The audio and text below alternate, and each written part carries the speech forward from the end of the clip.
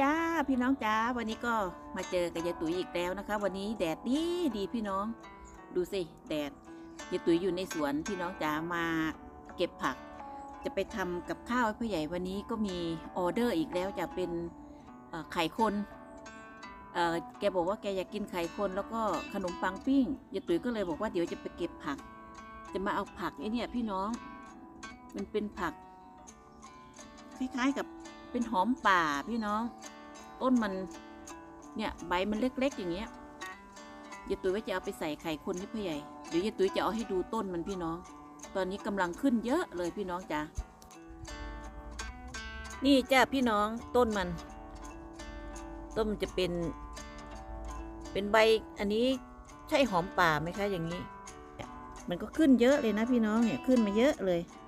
ใบมันเล็กๆ เอาไปใส่ซุปเอาไปใส่เนี่ยยายตุ้ยจะมาตัดไป เอาไปใส่ไข่คนให้พ่อใหญ่พี่น้อง มันขึ้นมาเยอะเลยนะคะ พี่น้องขาดูเนี่ยเพราะว่ามันเล็ดมันร่วงลงไปมันก็ขึ้นมาอย่างเงี้ยเต็มเลยพี่น้องดูสิดูเต็มเลย แล้วนี่ก็ต้นสตรอเบอรี่ยายตุยก็ขึ้นมาเยอะแล้วพี่น้องเดี๋ยวยายตุยจะเด็ดเอาเฉพาะใบนี่นี่มัน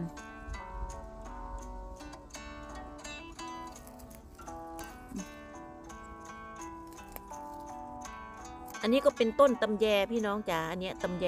ยายตุ๋ยว่าจะมาตัด เอาไปใส่อ่อมไก่พี่น้อง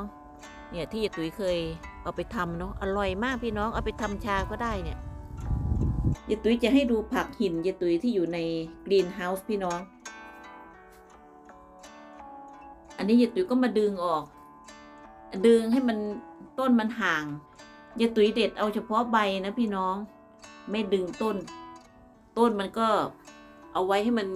ผลิตใบขึ้นมาเรื่อยๆพี่น้องจ๋าผลิตมาเรื่อยๆ เก็บกินเฉพาะใบพาสลีย์พี่น้องพาสลีย์ยาตุ๋ยเก็บไปใส่นี่ป้าใหญ่สะระแหน่ก็ยังงามอยู่นะพี่น้อง เพราะว่าอากาศมันดี อากาศมันอุ่นมันก็ขึ้นมาเรื่อยๆ พี่น้องจ๋า ตอนแรกรู้ว่ามันจะตายหมดมันก็ขึ้นมา ตอนนี้ยายตุ๋ยก็จะมาเตรียมทำไข่คนให้พ่อใหญ่จ้ะพี่น้องจ๋าก็คือเดี๋ยวพ่อใหญ่ก็นั่งมอง อยากจะเห็นว่ายายตุ๋ยทำกับข้าวเนาะก็หั่นแฮมแฮมไว้ก่อนผักที่ยายตุ๋ยเก็บมาเมื่อกี้พี่น้อง พ่อใหญ่อยากจะดู พ่อใหญ่อยากจะ อยากจะดูยายตุ๋ยทำกับข้าว ก็เลย เอาให้แกมานั่ง อยู่ในครัวเป็นเพื่อนยายตุ๋ยวันนี้จะกินไข่คนนะพ่อใหญ่ทำไข่คนให้นะคะ วันนี้ ตอนนี้ยายตุ๋ยก็เอากระทะตั้งไฟแล้วพี่น้อง ก็จะใส่น้ำมัน ตามด้วยเนยนะคะ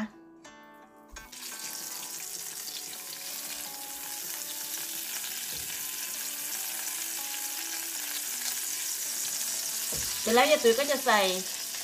แฮมลงไปเลยค่ะ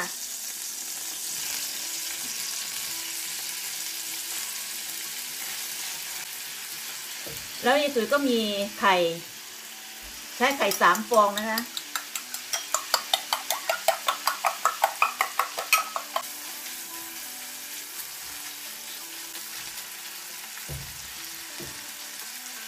เสร็จแล้วยายตุ๋ยก็จะใส่ไข่ลงไปเลยนะคะ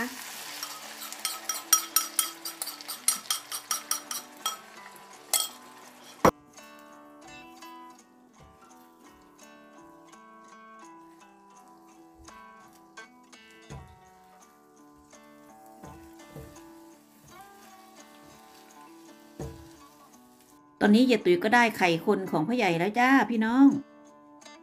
โรยพริกไทยไปหน่อยนึง และนี่ก็เป็นขนมปังของพ่อใหญ่ เดี๋ยวให้พ่อใหญ่จัดการทาเนยเองเลยนะคะ ทีนี้ ตอนนี้กับข้าวพ่อใหญ่เสร็จแล้วเดี๋ยวยายตุ๋ยก็คงต้องป้อนแกพี่น้องจ๋าเพราะว่าแกก็คงกินเองไม่ได้ เดี๋ยวหก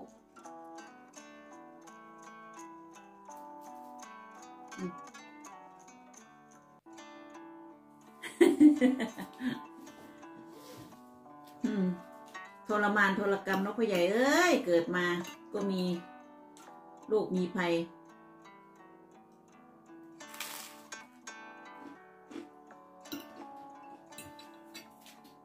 ก็ต้องป้อนแกพี่พี่น้องจ๋าอร่อยนะพี่น้องไข่คน อ่า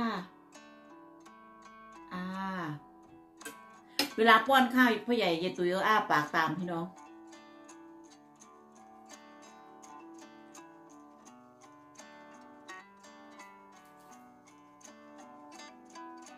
นนี้คือแกเป็นคนออเดอร์เองวันนี้เจะตุยไปเปิดขวดไอ้นี่พี่น้อง ขวดเนี้ยค่อนข้างจะเปิดง่ายพี่น้องจ๋าอันนี้ก็คือน้ำมะงุน น้ำมะงุนเข้มข้นร้อยเปอร์เซ็นไม่มีน้ำตาล เหลือเยอะเลยพี่น้อง ไปกินข้าวเป็นเพื่อนพ่อใหญ่พี่น้องจ๋า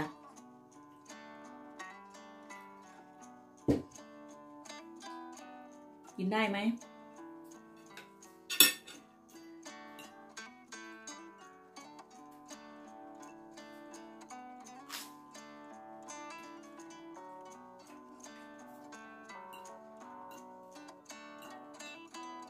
ให้แกกินเองพี่น้อง มาเดี๋ยวป้อนดีกว่า คงจะกินไม่อิ่มอะวันนี้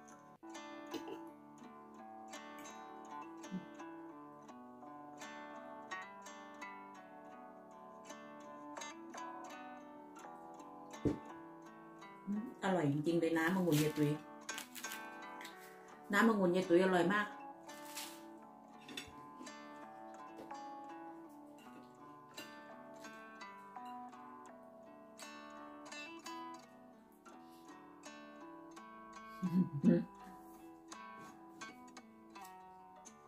Do you want? Do you want some?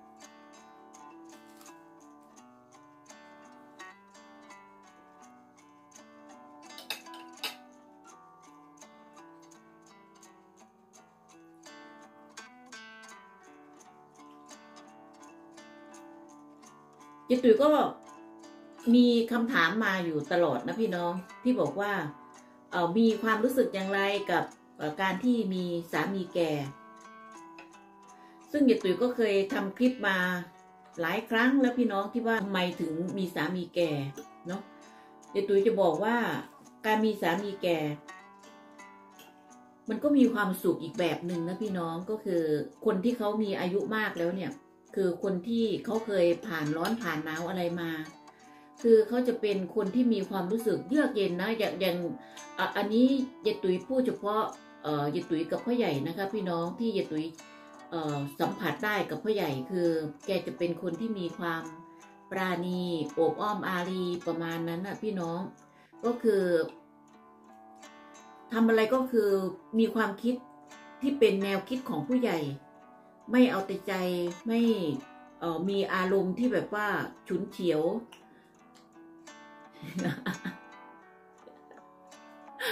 อ้าปากทำปากจุบๆจะกินยายตุ๋ยก็ต้องป้อนแก ก็คือไม่เอาแต่ใจตัวเองพี่น้องแล้วก็อย่างอย่างกับกับพ่อใหญ่อย่างเงี้ยก็คือ แกเป็นอย่างนี้ยังไงก็อย่างนั้นพี่น้องตั้งแต่ที่คบกันมากับยายตุ๋ย แกก็จะทำนิสัยของแกอย่างนี้มาตลอด ไม่มีอารมณ์ที่แบบว่าชุนเฉียว โมโหก็คือที่ผู้ใหญ่เป็นก็คือมีครั้งเดียวเท่านั้นแหละที่ยายตุ๋ยเห็นนะเนาะก็คือตอนที่ยายตุ๋ยเก็บของแกทิ้งอะพี่น้องตอนนั้นอะคือโมโหสุดขีดแกโมโหแกก็ไม่เคยที่จะมาลงไม้ลงมือนะยายตุ๋ยสัมผัสได้ถึงความเป็นสุภาพบุรุษของแก แกจะเป็นคนที่เทคแคร์เอาใจ เอาใจเก่งพี่น้องก็คือ เออเป็นคนแก่ใจดี เอาง่ายๆว่าเป็นคนแก่ใจดีเนาะจริงแล้วสามียายตุ๋ยคนแรกเขาก็อายุมากกว่ายายตุ๋ยนะก็คือเขาก็เป็นคน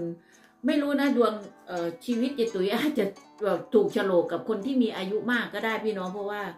กับสามีคนเก่าของยายตุ๋ยนี่ก็คือ จะเป็นคนที่แบบว่ามีจิตใจเยือกเย็น เป็นคนใจดีมาก เป็นคนดีมาก เอาง่ายๆคือยายตุ๋ยเอ่อคืออยากจะบอกว่ายายตุ๋ยก็โชคดีที่เอ่อได้สามีมีสามีสองคนก็คือเออเป็นคนที่มีน้ำใจดี เป็นคนที่มีจิตใจดีทั้งคู่พี่น้องจ๋าอ้าปากอ้าปากยายตุ๋ยมัวแต่พูดไปใหญ่อ้าปากจะกินข้าว สงสัยดวงชะตาจะถูกกับคนที่มีอายุมากพี่น้อง คือคนที่มีอายุมากเขาจะมีการตัดสินใจที่แบบว่าไม่วู่วามพี่น้อง ไม่วู่วาม แล้วก็สุขุม ตามที่ยายตุยสังเกตมานะ คือคิดอะไรเป็นแบบผู้ใหญ่ อย่างกับพ่อใหญ่นี่ก็คือ แกจะเป็นอะไรที่แบบว่า พอพูดอะไรขึ้นมานี่คือ แกจะมีความสงสารขึ้นมาเป็นเป็นอันดับแรกเลยพี่น้อง แกจะเป็นอย่างนี้แหละ คือมีความสงสารเมตตา มันก็คงจะไม่ใช่ทุกคนเสมอไปนะพี่น้องที่ยายตุยถ้ายายตุยจะบอกว่ามีสามีแก่แล้วเขาจะเป็นคนที่ใจดีสุขุมเออคือตามใจเราอะ คืออาจจะไม่อาจจะไม่ใช่กับทุกคนแต่ สำหรับกับพ่อใหญ่อย่างที่ยายตุ๋ยบอกนี่แหละก็คือ แกจะเป็นคนที่เไม่มีพิษมีภัยพี่น้องจ๋ายายตุ๋ยก็เลยมีความรู้สึกว่ารักแกไม่ใช่รักในฐานะที่ว่าแกเป็นสามีอย่างเดียวก็คือรักแกรักรักแบบทนุถนอมเลยพี่น้องคือยายตุ๋ยมีความรู้สึกอย่างนั้นจริงๆนะก็คือรักแกแบบสงสารแกเออคือ อยากจะช่วยเหลือแกทุกสิ่งทุกอย่าง นี่ก็คือในใจของกิตุยที่มีต่อพ่อใหญ่จริงๆนะรักสงสารแกพี่น้องกิตุยรักแกเพราะว่า แกให้ความรักกับทุกคน ผู้ชายคนหนึ่งที่แบบว่า เออไม่รู้เราเป็นใครมาจากไหนเนาะแล้วอยู่ๆเขาก็แบบให้ความรักกับเราแล้วก็ให้ความรักกับเออลูก ให้ความรักกับญาติพี่น้องเราทุกคน ให้ให้ความรักกับแม่เราอะไรอย่างเงี้ยพี่น้องจะพยายามดูแลให้ ให้ดีที่สุดเท่าที่จะทำได้พี่น้อง คือสงสารแก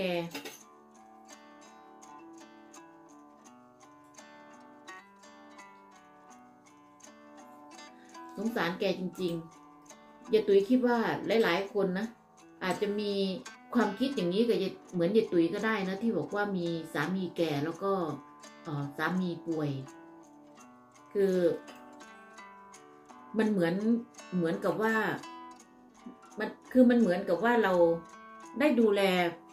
บุพการีเราอีกคนหนึ่งด้วยแหละ พี่น้อง อันนี้คือในในใจของยายตุยจริง ๆ นะพี่น้องนะ Do you want some? Do you want some? Hmm? Want some? Maybe. เอาไม่ดี สงสัยจะชอบอยู่ กินแก้วเดียวกันก็ได้เนาะ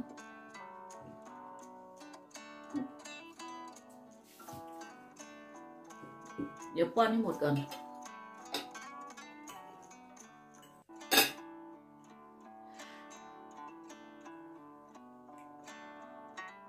อย่างที่ยายตุยบอกว่ามีสามีแก่นี่คือเหมือนกับยายตุยนี่คือเป็นช้างเท้าหน้าเลยนะพี่น้องก็คือยายตุยทำทุกอย่าง ยายตุ๋ยก็เป็นอย่างนี้มาตั้งแต่แรกแล้วพี่น้องตั้งแต่สมัยที่แกยังไม่มีปัญหาเรื่องสุขภาพก็คือ แต่แกก็เป็นคนที่แบบว่าอ่ออนแอพี่น้องเพราะแกก็เป็นคนมีคนขี้โรคอะเนาะเป็นขี้โรคนั่นแหละ คือเวลาทำงานหนักอะไรอย่างเงี้ยยายตุ๋ยยายตุ๋ยนี่จะเป็นคนลุยก่อน เป็นคนลุยก่อนแก คือยายตุ๋ยก็เคยมีความรู้สึก เคยคิดนะพี่น้อง เพราะว่าเอ่อยายตุ๋ยเคยเล่าไปแล้วนะว่า เมื่อก่อนนี่เวลายายตุ๋ยทำสวนทำอะไร แล้วทีนี้ยายตุ๋ยไปเห็นคนข้างบ้านเขาอะพี่น้อง คนข้างบ้านที่แบบว่าเขามีสามีที่ เอ่อยังไม่แก่เนาะก็คือสามียังยังเป็นหนุ่มอยู่อะไรประมาณนั้นอะแล้วภรรยาไม่ต้องทำอะไรมากมายอะไรประมาณนั้นอะแต่พอหันกลับมามองตัวเราเอง พี่น้องหันกลับมามองตัวเองว่าเรานี่คือเราทำทุกอย่าง คือเราลุยทุกอย่าง แต่สามีเราก็คือไม่ไม่แข็งแรงอะไรประมาณนั้นนะพี่น้อง อันนี้ยายตุ๋ยก็เคยคิดอยู่นะก็เคยคิดแบบว่าเปรียบเทียบนิดนิดนึงอะพี่น้อง แต่ว่าเออมาคิดอีกทีเขาก็ไม่ได้ให้เราลำบาก แต่เราอยากจะทำเอง คือเรามีความสุขอยากจะทำเราถึงทำอะไรประมาณนั้นนะพี่น้องยายตุ๋ยก็เลยเออคิดได้จุกคิดได้ว่า แล้วเราจะไปเปรียบเทียบทำไมว่าเออ สามีเราทำอะไรไม่ได้ แล้วคนอื่นเขาแข็งแรงเขาทำงานอะไรต่ออะไรได้อะไรอย่างเงี้ยก็คือพ่อใหญ่แกก็จะห้ามยายตุ๋ยประจำแหละห้ามยายตุ๋ยบอกว่าไม่ต้องทำนู่นไม่ต้องทำนี่ แต่อันนั้นคือมันเป็นความพอใจของยายตุ๋ยเองเนาะก็เลยอย่างเงี้ยพี่น้องยายตุ๋ยก็ก็เลยมีความรู้สึกว่ามันไม่มีปัญหาอะไรก่อนนี้ยายตุ๋ยเคยทำงาน เคยทำงานพิเศษ พี่น้องไปทำความสะอาดบ้านนะเนาะแล้วทีนี้ยายตุ๋ยก็ คนที่เขาจ้างยายตุยอะคือเขาเป็นผู้หญิงตัวคนเดียว เขาอายุตอนนั้นหกสิบสองพี่น้องจ๋าหกสิบสองแต่ว่าเขาเป็นคือสามีเขาเสียตั้งแต่เขาอายุห้าสิบกว่า ประมาณห้าสิบกว่านิดๆนะพี่น้องแล้วทีนี้เขาก็คุยกับยายตุยนะเขาบอกว่าเขาไม่แต่งงานใหม่ เพราะว่าผู้ชายไม่ได้จำเป็นอะไรมากมายสำหรับเขา เขาบอกว่าดูสิ เวลามีอะไรเสียหาย เวลามีอะไรที่ซ่อมแซมหรือว่ามีอะไร เราสามารถที่จะเรียกให้ใครมาทำก็ได้ คือเราไม่จำเป็นที่จะต้องใช้สามี ก็คือทุกคนสามารถทำให้เขาได้แล้วก็จริงอย่างที่แกพูดนะก็คือเวลาจะทาสีแกก็ทาสีบ้านแก แกก็ให้ช่างเขามาทำเวลามีปัญหาเรื่องไฟฟ้า แกก็เรียกช่างไฟฟ้ามาคือ อยากจะทำอะไรก็คือ เอ่อก็เงินอะพี่น้องก็คือใช้เงินแต่ นั่นมันก็ไม่ใช่ว่ามันจะเหตุการณ์มันจะเกิดขึ้นอยู่ตลอดเวลาเนาะก็นี่แหละแกก็เลยบอกว่าผู้ชายไม่ได้จำเป็นอะไรมากมายสำหรับแก แกอยู่ตัวคนเดียว แกมีความสุข ทีนี้ยายตุ๋ยก็เลยเออได้ไอเดียจากแกพี่น้องยายตุ๋ยมีความรู้สึกว่า โอเคไม่เป็นไรถึงแม้ว่าพ่อใหญ่ จะทำอะไรเองไม่ได้หรือว่าจะไป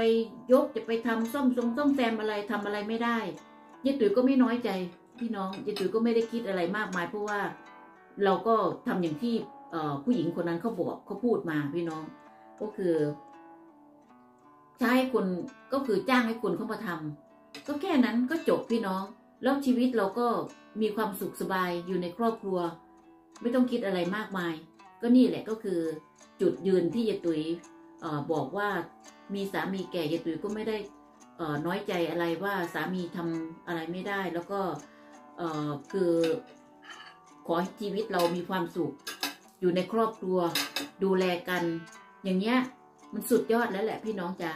สุดยอดแล้วแหละคือ ไม่ต้องมาเอ่อทะเลาะเบาะแว้งอะไรกันเข้าใจกันเอ่อรักเอ่อรักกันให้ความให้ความสำคัญซึ่งกันและกัน อย่างเงี้ยยายตุ๋ยคิดว่ามันสุดยอดแล้วแหละพี่น้อง